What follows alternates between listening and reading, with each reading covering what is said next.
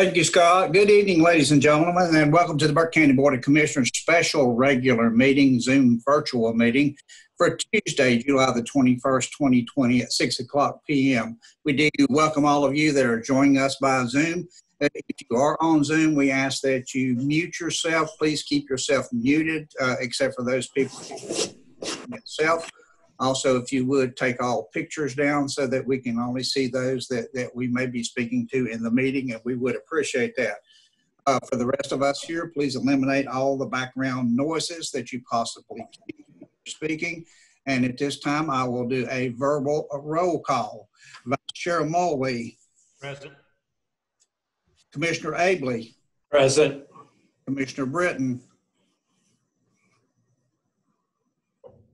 Commissioner Brittain, Commissioner Taylor, Commissioner Taylor,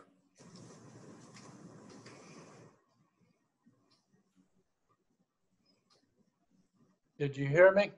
got you now. You just now came on. Thank you, sir. Okay. And the chairman is here. Commissioner Brittain.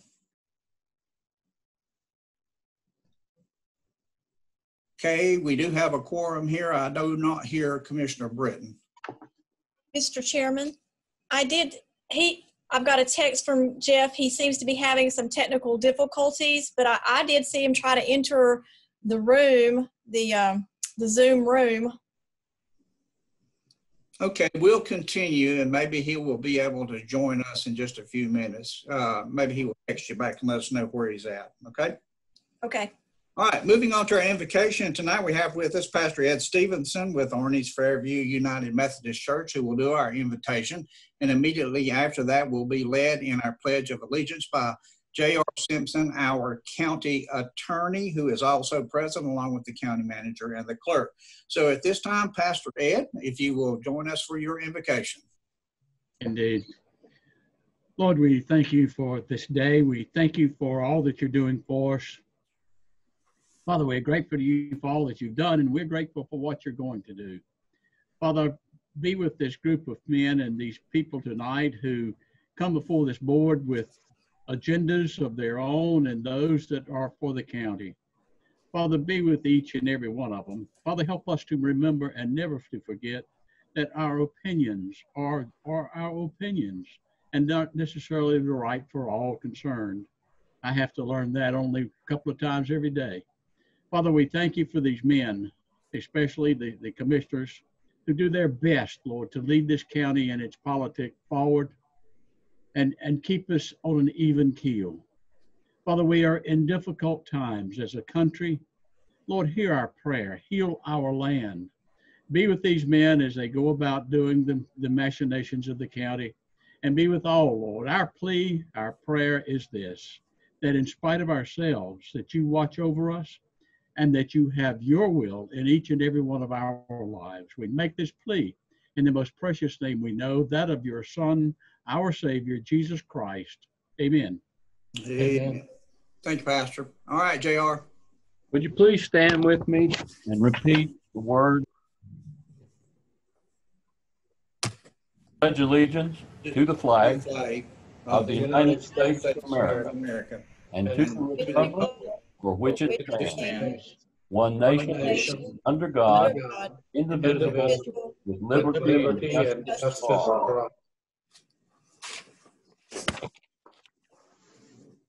Thank you, JR. Moving on to the approval of the uh, agenda. Uh, Ladies and gentlemen, you have had this agenda in front of you for several days now, so the chair will entertain a motion to approve. So moved, Mr. Chairman. Wayne Abele. All right, we have a motion from Wayne to approve the agenda. Roll call vote, Vice Mulwee, Yes. uh, Commissioner Taylor, Yes. and the chair votes yes. So that will be four of us, okay? Uh, Has got on down? Commissioner Brittain? Okay, we'll keep moving on until we get him there. All righty. Next item is approval of the meeting minutes. We've had two sets of minutes, one from February the 18th, 2020, our regular meeting, and one from February the 20th, 2020, our special meeting. Chair will entertain a motion. Mr. Chairman, I make the motion, we approve the first one, February 18th. There needs to be corrections to the February 20th. That'll give them time to do the corrections, and uh, we can look at it at next meeting. All right, gentlemen, you've heard uh, Commissioner Taylor's motion. Uh, uh, This time I'll do the roll call vote. Vice Chair Mulwee, Yes. Commissioner Abele, Yes. Commissioner Brittain. All right, and I will vote yes also. Okay, so that does pass four to zero. All right. Moving on to our next item will be presentations for this evening. Our first presentation will be the pet of the month, and that's going to be presented by Caitlin Settlemeyer, our Animal Services Director. Hey, Caitlin. Hey, everybody. Um, thanks so much for having us back down here um, on Zoom again. So, we are going to present our Dog and Cat of the Month for July. Um, this has been a huge opportunity for our pets that we have in our care. Um, everybody so far has, you know, found a rescue or an adopter. So, it's been really great. Um, so, I'm going to go ahead, I'm going to share my screen and show you who we have lined up. Oh, Never mind, I'm not allowed to. It told me I was disabled. So, um, can you guys still hear me? Yes, yes. Um, Scott, am I able to share my screen?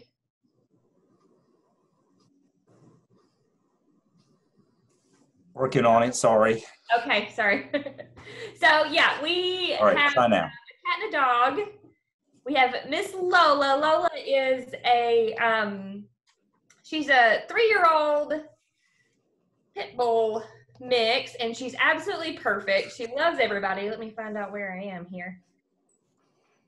All right, can everybody see my screen here? Yes, yes. Okay, so um, scroll on down. We have Miss Lola. Lola is a volunteer favorite in our Dogs Day Out program. Um, she absolutely loves the water. She walks great on a leash. She has never met a stranger. She gets along well with cats and dogs. Um, she's just a little pit bull mix, and she's absolutely perfect. She will make a family a fantastic dog. Um, if anybody's looking for, you know, just an all-around sweet-natured dog, um, she is definitely your pick. Um, she's very special. Um, she does have heartworm disease, um, which is a really common disease in the South. If anybody has ever heard about it, it's transmitted through mosquitoes. and it is a treatable condition, um, but it does require treatment. But you know, she can go on to live a long, happy life with her new family. Um, so we are still looking for someone to come and miss and adopt Miss Lola. Um, she loves car rides. She loves playing in water. So she's going to be a wonderful dog for someone. Um, next, we have our kitty cat of the month, and it's Miss Echo. Echo is our longest cat resident, and she got her name because she likes to meow, and it sounds like it's echoing off all the walls here in the shelter. So she's a very vocal cat. Um, if anybody's ever owned Siamese cats, they kind of know what a vocal cat is like, even though she's not a Siamese cat. She's absolutely perfect. She loves everyone. She does well with dogs. Um, she'd probably do best with older children. Um, younger children, she gets a little excited and handsy, so she may scratch a small child. But she is definitely ready to find her forever family. She's one of our longest residents down here. Um, so if anybody's interested in adopting or fostering, um, we are located at 425 Kirksey Drive, and our phone number is listed here. Um, we do encourage people to reach out if they need spay neuter resources. We have been completely inundated with cats this last several months during this season. So if you have a cat that is unaltered or a dog, please reach out to us. We can give you any resources that you may need. So that's our pets of the month. That's great. All right, gentlemen, any questions or comments for Caitlin? Caitlin, the adoptions are still going up, is that correct? In yes, percentage? adoptions are still going up. We did have a cat adoption event, event um, last weekend. Um, it was our Feline Frenzy event. We did adopt out 46 cats and kittens Wow. that weekend as well. So this we're we're moving right along. We still have more than we can handle, but All right. Anything else, gentlemen, for Caitlin? Well, if not, for all of those that are listening and watching, please go by the Animal Services Center and take one of our pets home. They all can use a use a great place to live, and We've got good animals down there, well taken care of. The, the ladies that work there are making, uh, have made sure that these animals are, are ready for placement. So I encourage you to go by there and do that. All right, Caitlin, thank you so very much. Mr. Chairman, Yes. I believe Commissioner uh, Brittain may have joined us. All right, Commissioner Brittain, are you with us? I am. All right, you're on telephone? I am. My computer chose an unfortunate time to update. As soon as it's finished, I will join you another way. All right, that's good, but at least we got you by phone. Thank you, sir. All right, moving on to item number seven is scheduled public hearings. Our first uh, hearing tonight is from Community Development, would be zoning map amendment, ZMA 2020-01 and public hearing that will be presented by Scott Carpenter, our Deputy County Manager and Planning Director. Scott, take it away. Good evening, Mr. Chairman and board members. It's nice to be with you here this evening. I trust everyone is well. The request is uh, that staff has received a rezoning application from Brent Perkins to rezone uh, .88 portion of one parcel of land totaling two acres. The request is to rezone the property from its current zoning of R3 residential to general business. The property is home to True Lock Storage Solutions. The applicant would like to construct one more storage building at this location. The property has existing mini warehouses on the western half of the property. Prior to 2019, the property was two separate parcels. The parcel with the mini warehouses is zoned general business, and the adjacent parcel is zoned R3 residential. In August of 2019, both parcels were combined into one parcel. So therefore, uh, tonight's uh, meeting and the action that we'll be taking uh, in the future would be to make the whole parcel general business so that he can expand that. The 911 address of the parcel is 3495 North Carolina, 18 South Morganton, North Carolina. The property currently has four storage buildings with 64 individual storage units. The applicant is wanting to construct one more additional uh, building with 20 units. The parcel has 450 linear feet of frontage on North Carolina 18 South. The subject parcel and four adjoining parcels to the west are zoned general business. The zoning to the north, south, and east is uh, R3 residential. Can you uh, go up to the existing land use? Thank you, Kay. You can see from the existing uh, land use map that a whole lot of the uh, area surrounding the uh, uh, current warehouses is indeed vacant. The other types of land uses, the blue that you see there is actually a fire station, and the yellow is single family residential. The brown and the light brown are single wide and double wide manufactured homes. And if you could go up to the next uh, one for me, Kay, thank you. There's an aerial uh, view of it, and the warehouses they're there on the uh, left of the red box, and you can see that a lot of the land there is uh, cleared uh, for this. The current warehouses do not have any uh, buffer or anything like that, but when he adds the additional warehouse, that will require a new uh, buffer. As far as conformity with the comprehensive uh, plan, the current land use plan for Burke County is the 2016 2030 Blueprint Burke Strategic Land Use Plan. The parcel is located in the rural agricultural area and just on the fringe of a secondary growth area. Commercial, institutional, and industrial development is expected as needed to support the residential and agricultural nature of this area. Many storage facilities would be considered one of those uses which support residential and other land uses, so we do believe it is in conformity with the comprehensive plan. As far as conformity, conformity with the Burke County zoning ordinance, Currently, the uh, zoning is R3, so that would be residential and residential uses for single-family, uh, double wides and mobile homes predominantly. So the requested use would not be in compliance with that. However, the requested rezoning to general business would be an allowed use and it would just expand an already existing use. And if we could go up, uh, Kay, to the uh, zoning map. Thank you so much. Um, You can see from the zoning map that most, all of the zoning in the area is R2 and R3 residential. Those are the two uh, basic colors, and the red color is commercial zoning. And this would attach to the uh, uh, right side of that red zoning and would just expand it a little bit. So it's not a spot zone by any means, and the uh, staff has not received any complaints or any calls, and there has never been any calls or complaints about this particular mini warehouse operation that we're aware of.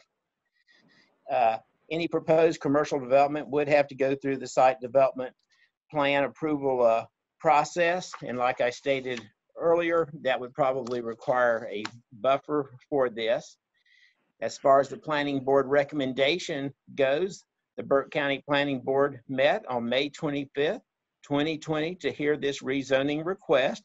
There were no citizens to speak. The board voted unanimously, 6-0, to recommend approval of rezoning request ZMA 2020-01. There is no budgetary effect with this request. The county manager's recommendation is for approval. And I'm happy to answer any questions that the board may have.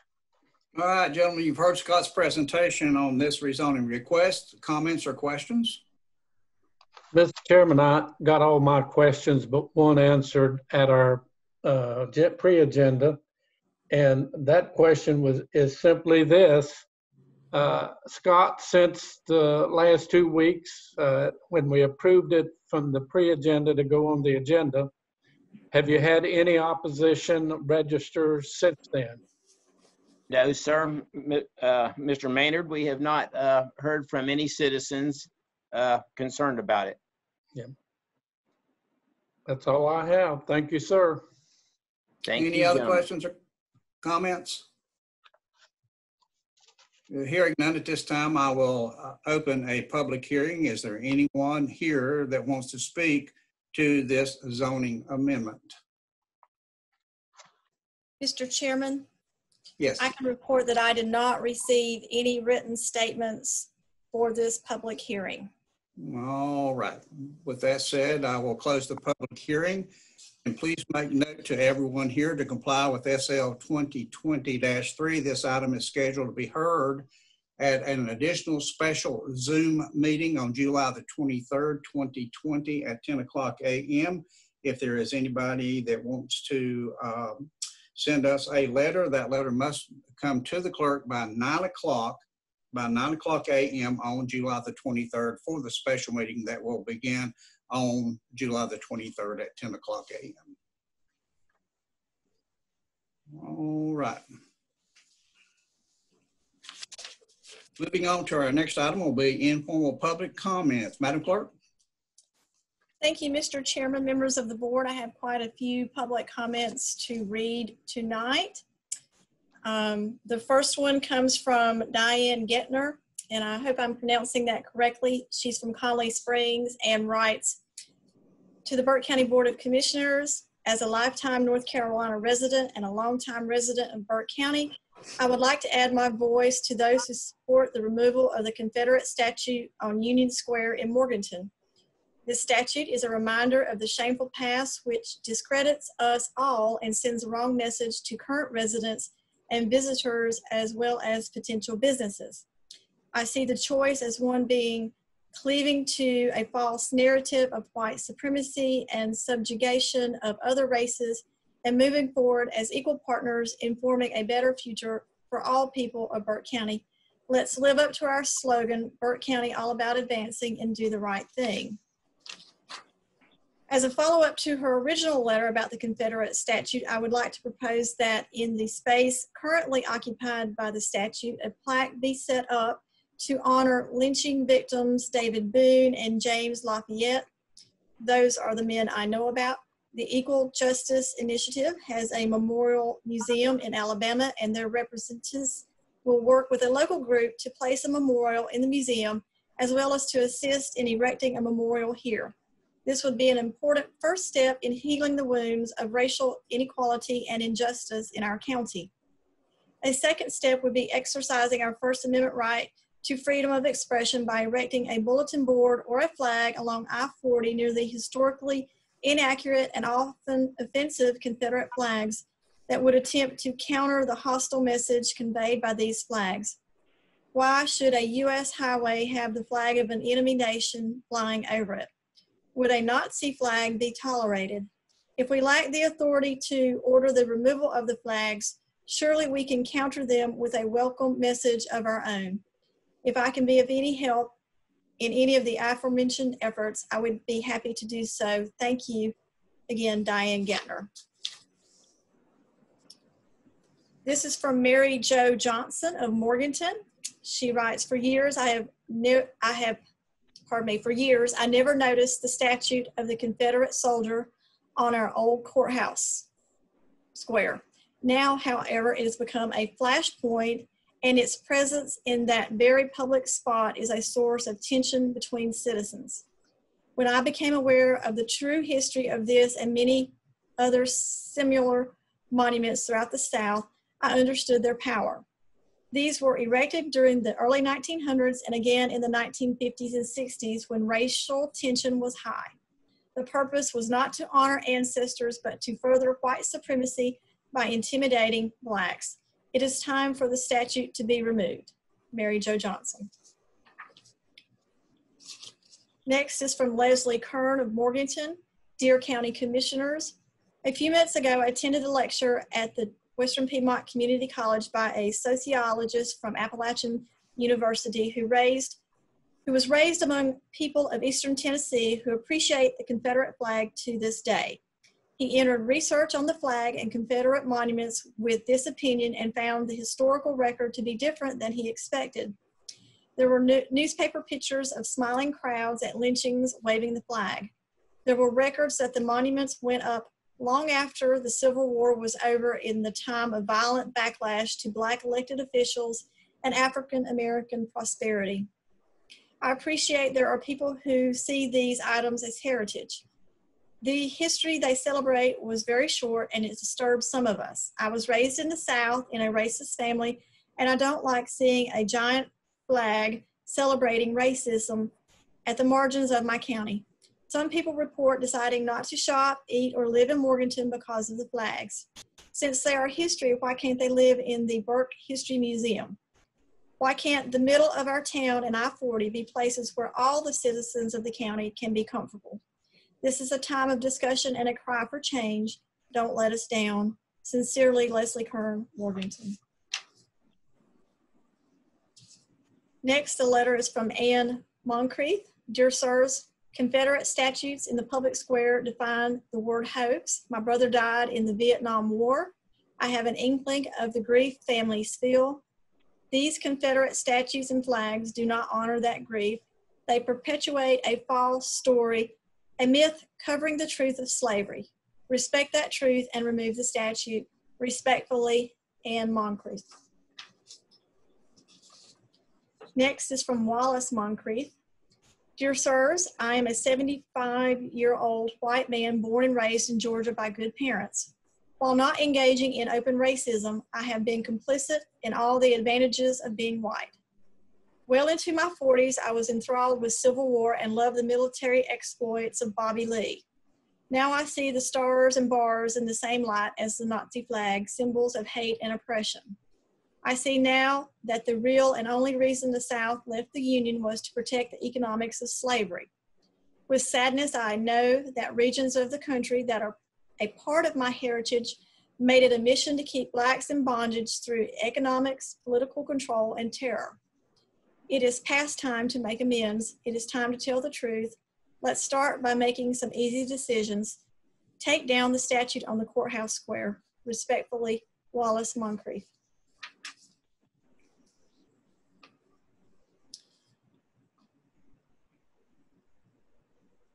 Next is a um, letter from Shandy Denton Gossett, President and District Lieutenant Governor Chesterfield Ruritan Club in Morganton, to whom it may concern. Since my last editor, pardon me, since my last letter to the editor of the News Herald concerning the Chesterfield Elementary School, I have done extensive research within the community for opinions and suggestions for the property. I have spoken to many community members, including teachers from the school. If the county commissioners would entertain the idea of overseeing the future of this property, I can assure them that it would be in the best interest of our community and county. I have compiled an extensive list of ideas for the Chesterfield School that would benefit all involved as listed below. Community satellite locations for organizations such as the Burke County Sheriff's Office, Burke County Department of Social Services slash Health Department, Burke County Library, Burke County Arts Council, etc. Community site for adult basic education classes, GED classes, literacy classes, special education center, etc. Classrooms for Western Piedmont Community College continuing education. Daycare center, adult or children, senior center, community site for Boy Scouts, Girl Scouts, or 4-H, community center, community emergency shelter following fire or other emergency, art, art studio, gallery, weaving, painting, pottery, etc community site for exercise classes, yoga, etc. Office space for organizations such as the Chesterfield Volunteer Fire Department, Over Mountain Victory Trail, etc. Food pantry, soup kitchen, coat closet, community park. As you can see, many ideas have been suggested to me for portions of the Chesterfield Elementary School building and grounds. I humbly ask that full consideration is given when making the decision concerning this property. Being a longtime community member, I would like Thank you for your time and look forward to a positive outcome. Thank you, Sandy Denton Gossett. Um, next is um, a comment from Bryant Lindsay, and he writes, um, please share these materials with each member of the commission at today's meeting, which you all have these in your box or have already received them. Between now and your pre-agenda meeting on August 4th, we will try to have constructive discussions with the Burke County Board of Education and Superintendent Putnam, as well as County Manager Brian Steen and County Commission as to the best way to move forward with respect to Chesterfield Elementary School. Any suggestion that Brian, you and Chairman Carswell have in this respect would be gratefully received. Respectfully submitted, Bryant Lindsay. Next is a correspondence from Dorian Palmer. He writes, County Commissioners, First, to read the News Herald article about the 400,000 of COVID-19 relief funds being spent for electronic locks in two county buildings were very troubling. I do understand the convenience of these electronic entry systems, but in what way do these constitute using COVID-19 relief funds? So today I ask you this, wouldn't these funds be better utilized elsewhere? Hazard pay for Burke County employees, EMS workers, Burke County public school teachers, and all who are fighting this virus at the forefront would be first on my priority list. More resources for Burke County public school employees to teach both virtual and in-person classes this year would have also been a great way to spend it. I also understand that the money that was given to municipalities through Burke County was based on what said municipalities requested but if there is so much more allocated for discretionary expenses like electronic entry systems, why weren't they given more to help sm their small businesses, their employees, or additional spending caused by COVID-19? We are better than this. 400,000 should have gone further than keyless entry systems for two buildings. Secondly, is my understanding that you are addressing the petition that Burke County citizens have taken initiative to present Burke County's motto is all about advancing. So why are we fixated on keeping a statue that represents history in downtown Morganton? No one is asking you to erase the Confederacy and its leaders from the historical record.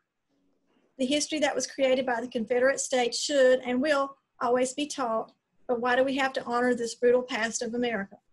Not only do Confederate monuments remind many Burke County citizens of the horrific past their ancestors endured, but they also represent a time where America was divided. During these trying times, we should be encouraging unity and togetherness, not focusing our attention on keeping a statute that represents division. Many who want the statute removed are calling for relocation of the statute, not demolition. So why is this something that the Burke County Commissioners are refusing to consider? As Burke County continues to grow and our population becomes more diverse, I ask that we take into consideration the feelings of all demographics that are represented, not just demographics of those who have a seat on the table. Thank you for your time, Dorian Palmer.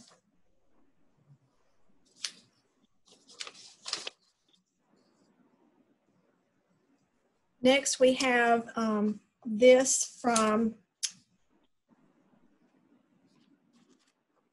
Diane Register of Morganton, and it reads, um, to the Burke County Commissioners, Co-Mr. Johnny Carswell, Commission Chair, oversized flag and flag poles in the view shed of Burke County are attracting unfavorable attention, spoiling our vistas, creating a threatening environment for our citizens, and adversely affecting our potential economic growth.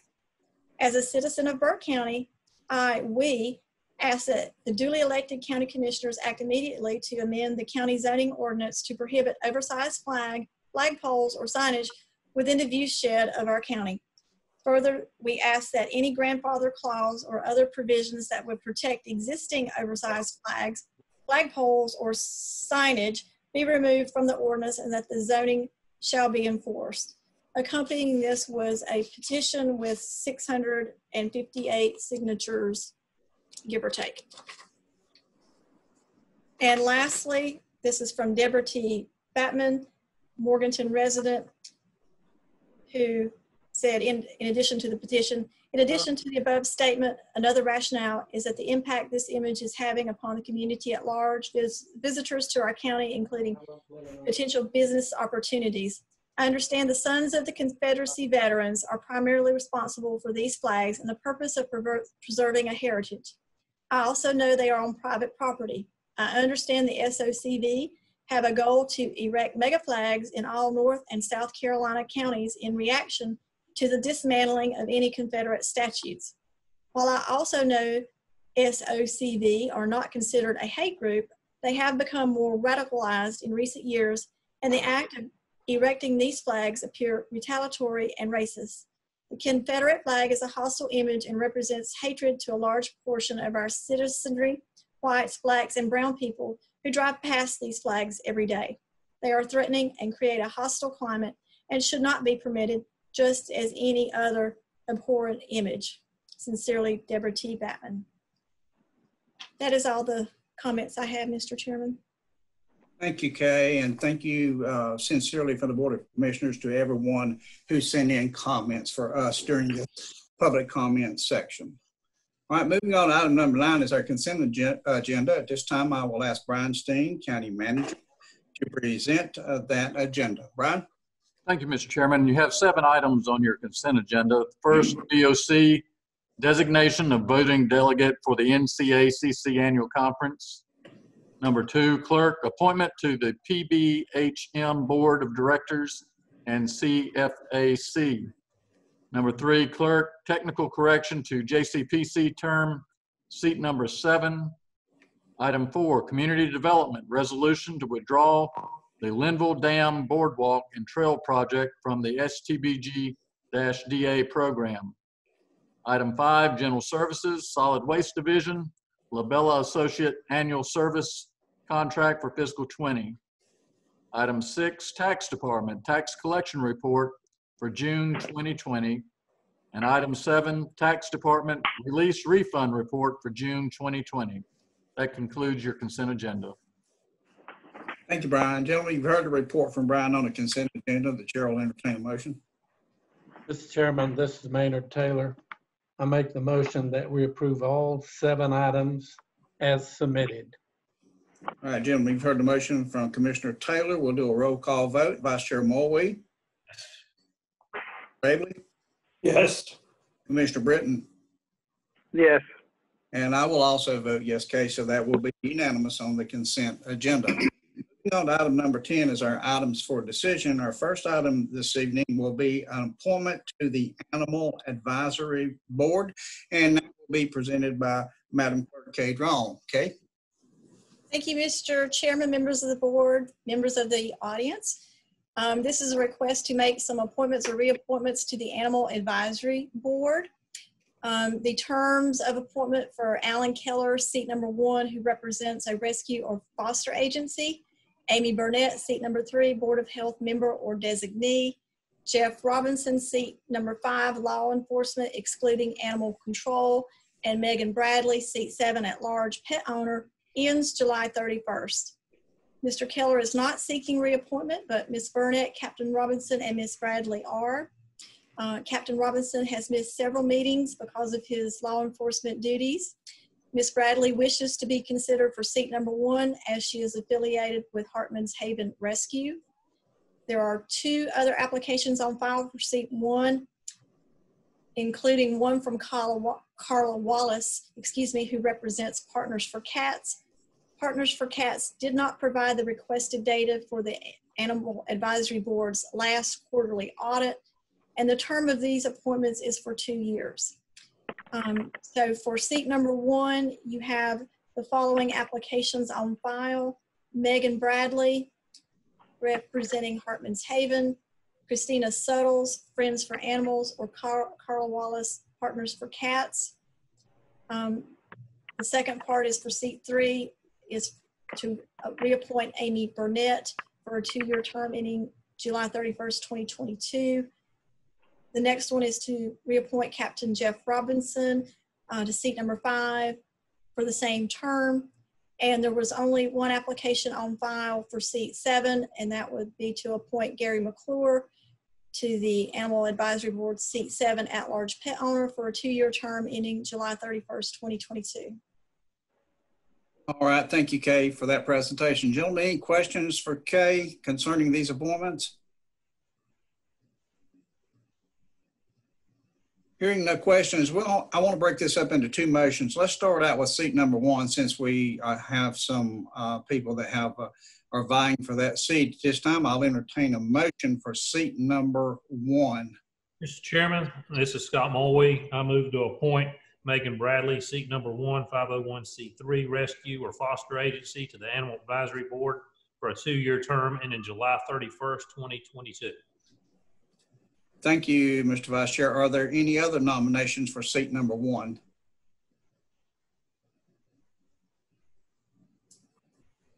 All right, hearing no other nominations, the name that is before us is Megan Bradley. Scott has made a motion on seat number one. At this time, I'll do a roll call. Commissioner Abele, Yes. Mr. Brittain, Yes. Commissioner Taylor, Yes. And I will also vote yes, so that will be unanimous. Okay, let's move on to the reappointments and the appointment to seat number seven. We will entertain a motion for those two appointments and the appointment on seat seven. Mr. Chairman, this is Scott Mulwee again. I move to reappoint Amy Burnett uh, for a two-year term ending July 31st, 2022 for seat number three. Um, To reappoint Captain Jeff Robinson on the Animal Advisory Board, seat number five for law, law enforcement excluding animal control for a two-year term ending July 31st, 2022. And to appoint Gary McClure, uh, Animal Advisory Board, seat number seven, at-large pet owner for a two-year term ending July 31st, 2022. All right, gentlemen, you've heard the vice chair's motion on the two reappointments and the appointments. Any questions or comments? Hearing none, I'll go to a roll call vote. Uh, Commissioner Abele, Yes. Commissioner Brittain, Yes. Commissioner Taylor, Yes. and I will also vote yes, Kay, so that will be unanimous on the reappointments and the appointment. Mr. Chairman, Yes, sir. this is Maynard. Could, uh, I didn't think fast enough before we moved into that second part of that, but could we uh, also assure those others that did not get a position in the number, the seat number one, that the animals, uh, Friends for Animals will, no, Animal Advisory Board, excuse me, uh, will notify them uh, of any opening that might come up on that board. Uh, Seems like we got a lot of good people uh, wanting to serve, and we need to remain friends and encourage them to hang on, because we're going to need them sometime down the road. Great comments. Thank you, sir. Kay, would you make sure that occurs? Certainly. Thank you. Thank you so very much, Maynard. Our second item is uh community development resolution for the Lake James Marina for the expansion of a no-wake zone. And that will also be presented by Scott Carpenter, Deputy County Manager and Planning Director. Scott? Thank you, Mr. Chairman, board members. Um, Kay, could you uh, please bring up the uh, uh, wake zone extension map? Thank you so much. So the original no wake zone request was by John and Laura Auger, and it was approved by the county in the late fall of 2002. However, the new owners of the marina, which uh, you know is uh, Todd Bennick and uh, Tim Newton, they have requested that the no wake zone be expanded due to unregulated speed of watercraft and resulting wave action in the areas not covered under the current no wake zone. As part of the North Carolina wildlife application, Burke County is required to hold a public hearing on the matter and adopt a new resolution of support for the request. The decision-making authority rests with the North Carolina Wildlife Resources Commission. An application from the county shall include the application, the resolution of support, a memo identifying who will pay for the buoys, and evidence of the public notice.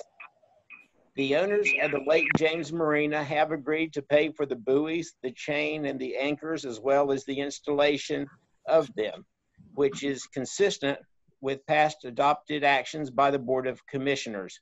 So in other words, whenever anybody comes and they want a no-wake zone, the county's policy has always been not to pay for the no-wake zone, but to whoever is requesting it, that they pay for it and maintain the buoys.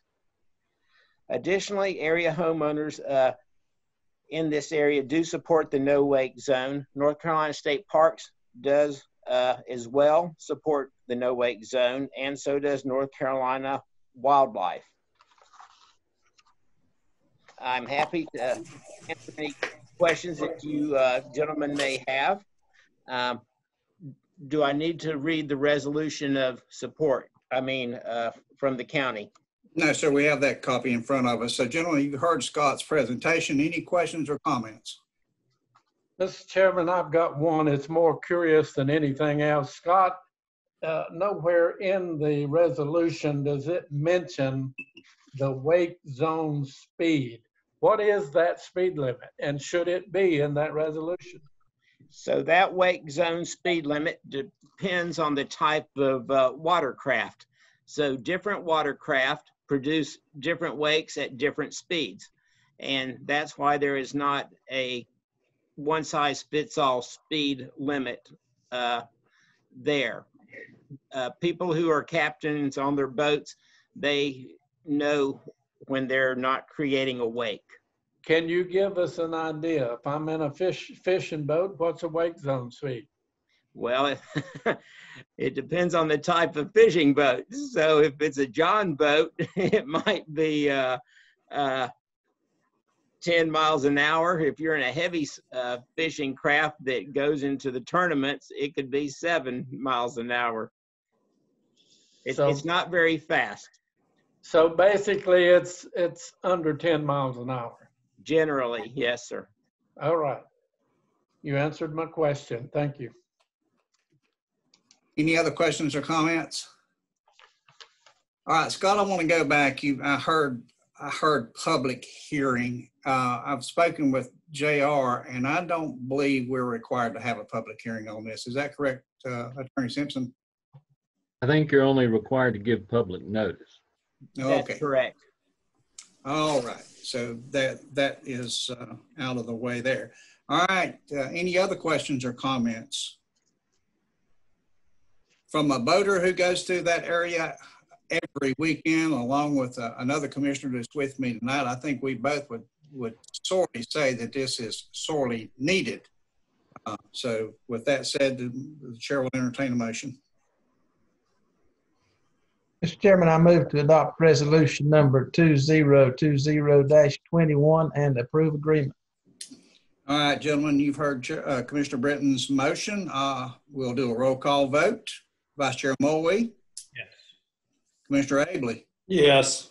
Commissioner Taylor, Yes.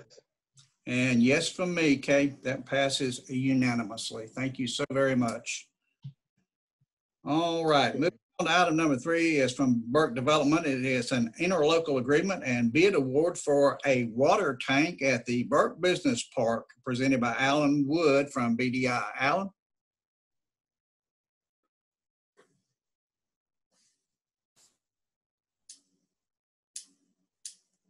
Thank you. I had to get unmuted. Uh, We do have uh, bids for uh, the construction of the water tank and for the booster station. Uh, Those were approved this past Friday. It it did require a rebid since we did not receive uh, the required three bids at the first offering of this. Uh, The uh, winner of, or the low bid on the uh, tank itself is Phoenix Fabricators. Uh, Their bid came in at uh, one million five seventy-eight oh fifty-nine. And then there were two alternate bids. Uh, One was to put uh, the uh, logo for Burke Business Park there. And then uh, the uh, alternate to also do Nature's Playground logo for the Tourism Development Authority. Uh, That would have been, uh, that would be covered by the Development Authority. So there would be no budgetary impact on uh, us for that. The uh, pump station, we ended up with actually four bids uh, on the day that those uh, were uh, acknowledged. The low bid there was uh, Lock Lane Construction out of uh, Stony Point, North Carolina, at uh, four million, four hundred sixty-two thousand, two hundred seventy-three dollars and twenty-two cents. Um, The um,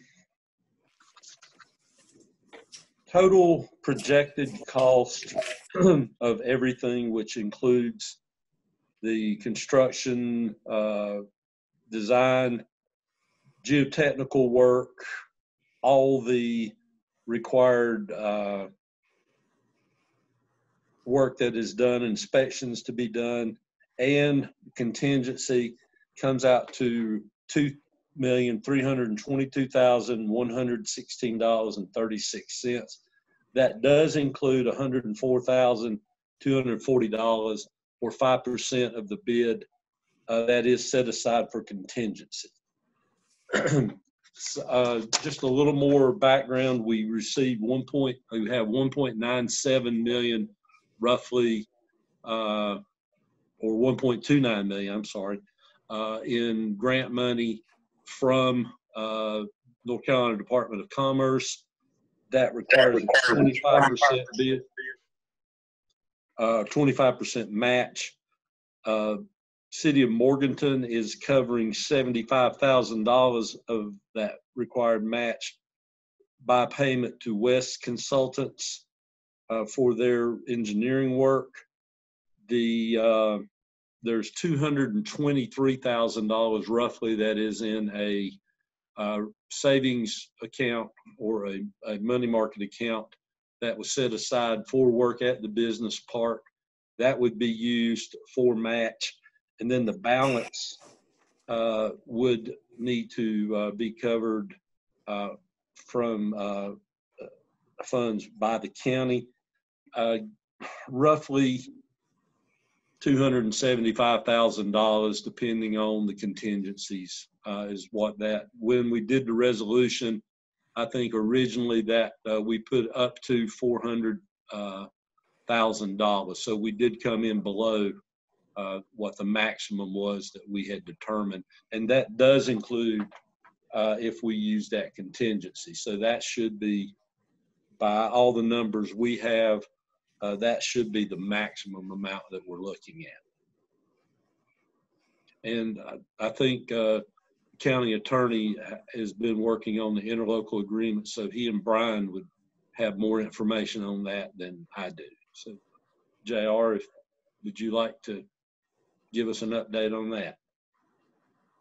Well, we've been working on this interlocal agreement for, uh, for a month now, and, um, even as late as this afternoon, we were going back and forth with, uh, with changes. We now have it in a form that I think Kay sent out around lunchtime. And, um, it, uh, uh, puts the county in charge of the project.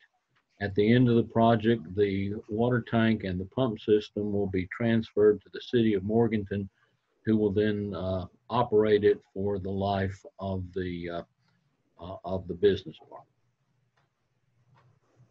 This is a half a million gallon tank. It is necessary for fire suppression for any business that would go to the park. And it should more, it should cover any requirement for fire suppression that we can uh, foresee uh, for the future. All right, gentlemen, you've heard Alan's presentation along with JR's. Any questions or comments? Mr. Chairman, uh, Scott here, just, just for clarity, JR, for, uh, general information. Once we transfer that, uh, that particular piece to the city, we're held harmless for any liability at that point, I assume. And any, there will be no upkeep or anything like that as far as on our part. At that point, the city is in charge of operation and maintenance, and we would not have any further liability once we have uh, transferred it to them. Okay, thank you. And Alan, I just want to make a comment. I know you've been working on this project for years, so it's, it's great to see this come to fruition. And so, uh, we can move forward at this point. So great work. Thank you. Other comments or questions? Mr. Chairman, I, I have a couple. Uh, the first one is, Alan, I'm, I'm probably incorrect on this, but I did a little research and could not find uh, what I was looking for. But in the beginning, I thought this was supposed to be a $1 million tank, not a 500. Yeah, Oh, you mean, no, 500,000, uh, uh, half, uh, 500,000 is the, uh, is the size that's needed. And that was, uh, it was determined that you could possibly go a little smaller than that, but you run the risk of not having sufficient coverage. So it is a half a million gallon. Well, the good news is, and the bids came in and obviously they're going to cover the cost of this. The only other question I had is kind of looking out the, after the little folks, because I read this uh, article and uh, only, it looks like that uh, Morganton City is the one who's going to gain the most because they're going to sell the water uh, to whoever out there. But anyhow, uh, what about these other little communities, um, uh, Valdese, uh, Rutherford College? Uh, I don't remember if Drexel was in it, but anyhow, um, it's it's obviously that uh, they're not yet getting anything for their investment in it. Uh, uh, is that coming down the road, or how how do we look at that? How do how do we keep the things rolling so that they can get uh, some of their investment back? Well, without the tank, we really have no chance of doing that because we cannot have structures that required fire suppression. So this is a step that has to take place for that park to uh, meet its anticipated and needed goals. Once, uh, so to do that, first we have to have the tank and then we are moving forward full bore with finding uh, possible users for this facility. Uh, I have, know, we're marketing it constantly. Uh, specifically, uh, we uh, are on LinkedIn. We have a new website that's coming up uh, that features this site uh, a great deal. And I have it from a lot of my contacts that this is one of the handful of best ready-to-go business park sites in North Carolina as far as pad-ready sites go. Uh, I mean, I understand that it has been there for a while. We've been through a lot while that uh, park has been there. And uh, with some of the things that may or may not come out of COVID, we think that there's going to be uh, more reshoring and having this park ready to go is the best chance that we have for everybody starting to see a return on their investment. Yeah, I, I agree wholeheartedly until we, till we got water, uh, we were, we were not getting anywhere with it. And it, it- this is a blessing to say the least. Um, But also, how about the natural gas? We were, we were talking about that at one point. Is it, is, has it been uh, completed to the park or are we still waiting on that? It will depend on who the user is. So I can't give you a, a real short answer on that. If it is someone that just requires uh, gas for uh, heating and cooling purposes, then we're ready to go very, very quickly. If it's a heavy gas user, uh, it, it, it requires more work. And it, uh, but even, even with that, uh, I have been assured as we continue to work with Piedmont Natural Gas, who's the supplier there, that when there is a user, that they can and would have uh, service to the park uh, in sufficient time for that business to, to be ready to go and, and they would not hold up the process. Yeah. Well, I certainly appreciate your hard work and continuance on that project. Uh, I hope, hopefully we'll have a, a tenant in there before the end of the year. Well, it is, it's, it's definitely our goal and uh, what we have now would be a race. If we could announce one now, who would get- be ready to go? Have a building up first or a water tank? Yeah. Good. Any other questions or comments? All right, hearing none, we'll entertain a motion. Mr. Chairman, I move to approve the interlocal agreement between the County of Burke and the City of Morganton concerning construction and operation of a water tank for the Burke Business Park. Authorize the chairman to execute the agreement on behalf of the board and to award the bid to, do we have that name? For the tank, it is Phoenix Fabricators and Erectors LLC. Okay, And for the uh, pump station, Lock Lane Construction Incorporated. yes, I read that. Thank you. Uh, It just wasn't convenient to read right at the moment. And I can't read anything else, Madam Clerk. Is there a Okay. third item to this? If you will refer to your chairman's notes, everything you need is there. I'll be happy to read it for you. This information was not available when that document was created that you're seeing on your screen. Um, to award a bid to Phoenix Fabricators and Erectors LLC in the amount of one million five hundred eighty-six thousand and fifty-nine dollars. Contract A, alternate bid item A1, the business, Burke Business Park logo, and authorize the chairman to execute the notice to proceed. To award a bid to Lock Lane Construction, Inc. in the amount of four hundred and sixty-two thousand, two hundred and seventy-three dollars and twenty-two cents.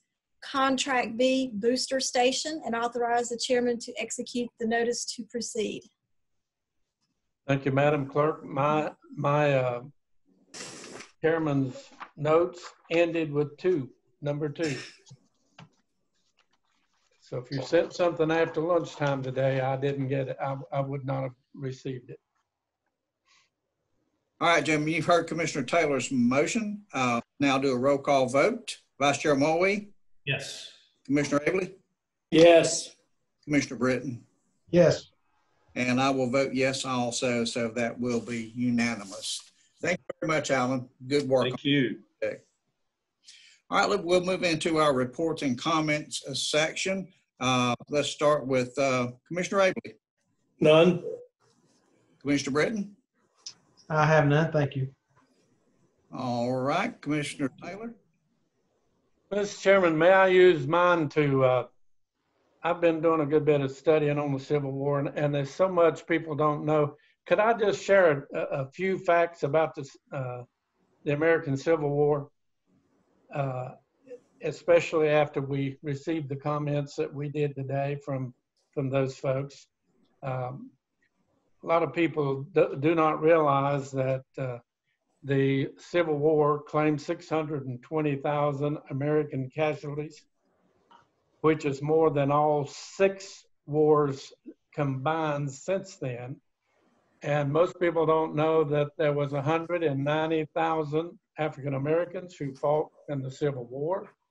They fought on both sides. 90% of them or better fought on the Union side.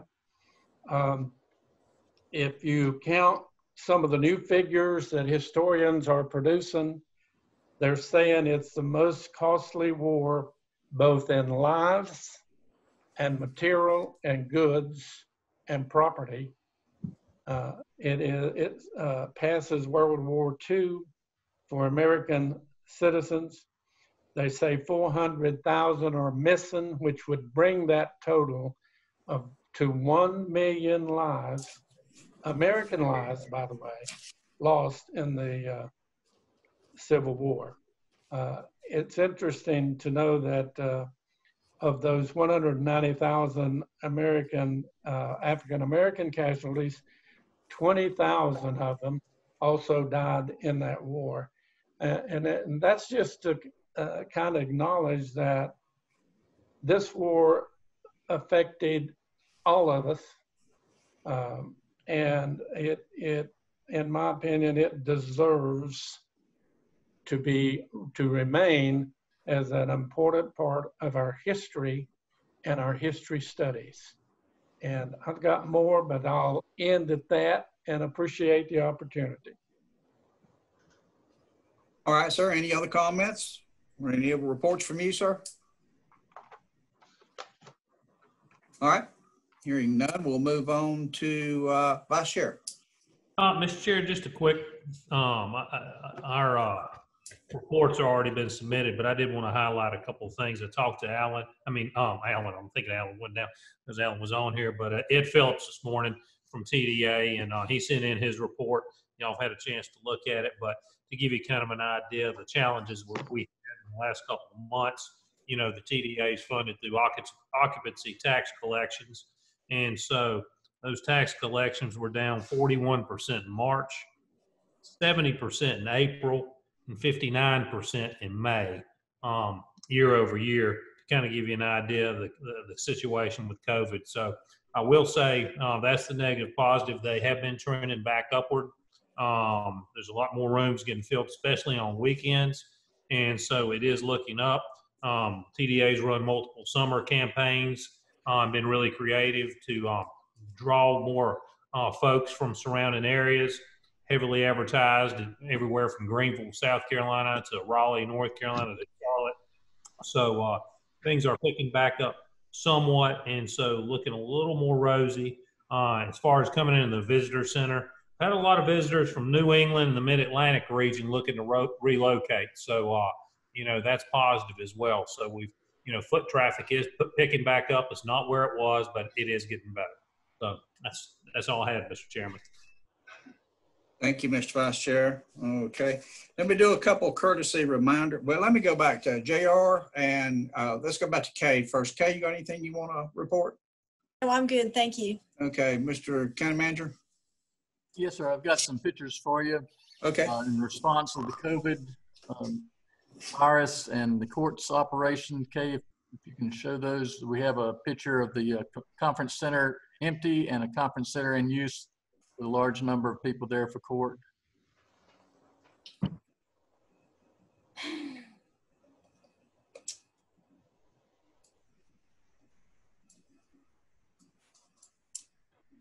I'm looking for it, Brian. Uh, it was on my desktop and it has been moved um,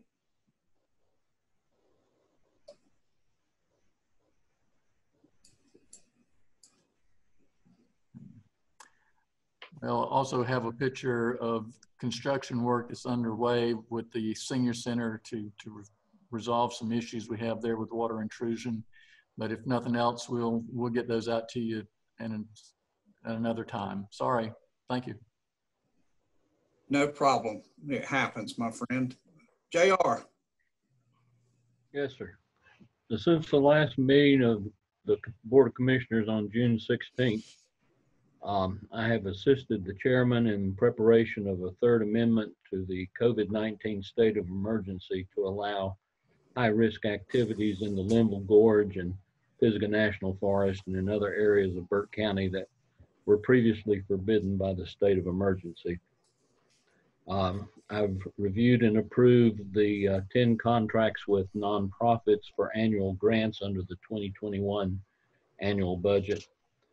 Um, Received the proposed interlocal agreement uh, between Morganton and the county prepared by the city of Morganton. Uh, We had a series of meetings uh, between city and county staff where this project was discussed. I prepared the second draft of the, uh, of the uh, interlocal agreement.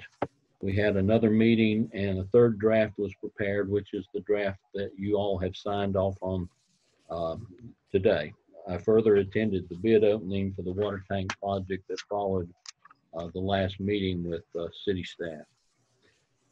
Uh, Following investigation, I prepared a notice to council for James Paget of his uh, violation of the county's order, judgment, and injunction against him, and of our intent to seek to have him held in contempt of court. If you recall, this involves the Barrier Loop property, um, which was in violation of the county's master zoning ordinance, environmental compliance ordinance, and public nuisance law. Um, I've met with the sheriff and the county manager and the sheriff's executive staff to discuss possible and appropriate uses for the sheriff's drug fund forfeitures. I have reviewed and uh, the Sage Security Solutions proposed contract with the county or changes to the county buildings elect- electronic lock systems.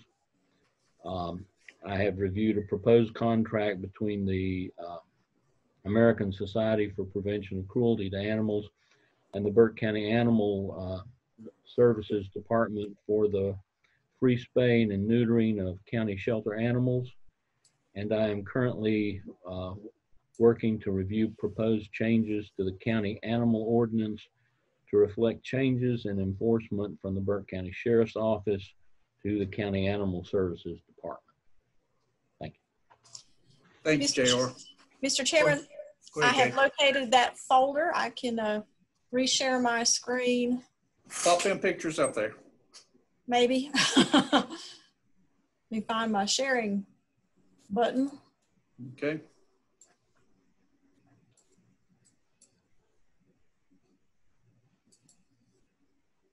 All right, let's see here. Share screen.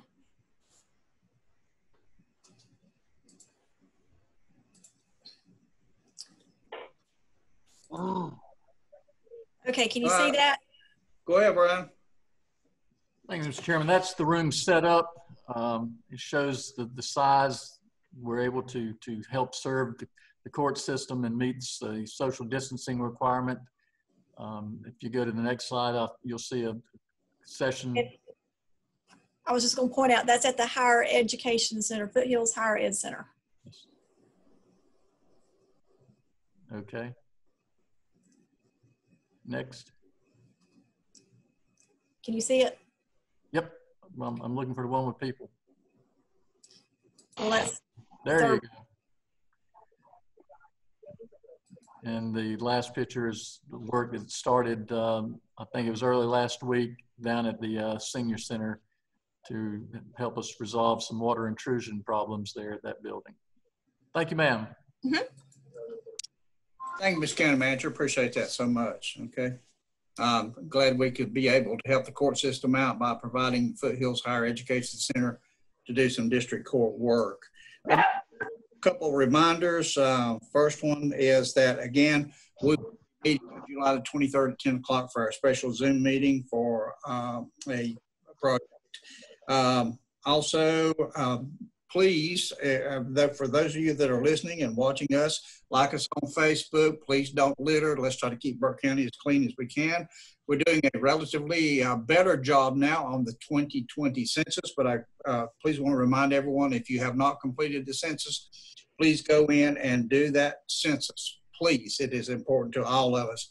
Again, uh, for our friends and Caitlin down at Animal Services, please have your pets spayed or neutered. And uh, our NCACC annual conference will be by Zoom this year. That'll be in two stages. Uh, please remember August the 5th and August the 6th, and again on August the 12th, and again on August the 13th. Um, there's a special day tomorrow. I believe that would be Commissioner Brittain's 29th birthday again. Is that correct, sir? Yeah, a lot again. Yeah, okay. All right. So uh, happy birthday to you, sir. You know, we typically have a cake and everything here, and uh, I do miss that by by these meetings. Also, I, I want to uh, thank everybody that's been in the chat box. Uh, we have been reading your your comments there.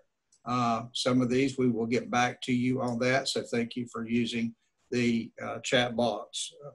At this time, we'll go to Kay for the vacancy announcements.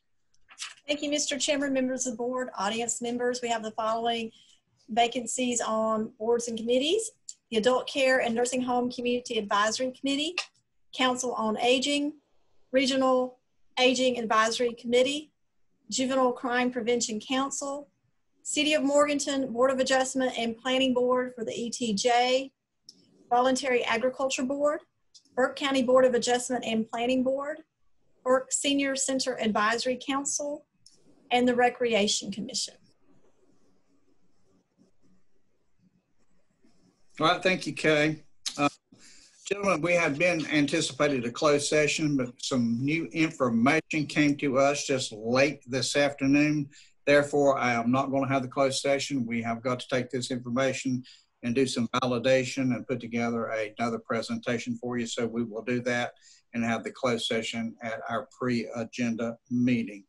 All right, with nothing else in front of us this evening, I will entertain a motion to adjourn. So move, Mr. So moved, Chairman. Mr. Chairman. All right, roll call vote. Vice Chair Mulwee. Mr. Abele. Yes. Mr. Brittain. Yes. Mr. Taylor.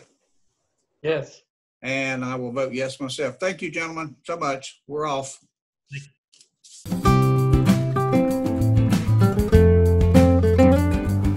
Hello, I'm Brian Steen, the Burke County Manager, and I'd like to introduce you to Zeke, Ty, and Chloe. They're my three pets, and I adopted them all from rescue agencies. I hope if you're thinking about getting a dog or a cat, you'll consider contacting our local rescue agencies and adopt one. If you have a cat or a dog, I hope you'll also consider having them spay or neutered to help us reduce the number of unwanted pets in Burke County. Whatever you can do to help us would be appreciated, and in a moment we'll show you some contact information for both the rescue agencies in Burke County and agencies that can help you with low-cost spay and neuter. Thank you again. I hope you have a great day. Wolf. Thank you.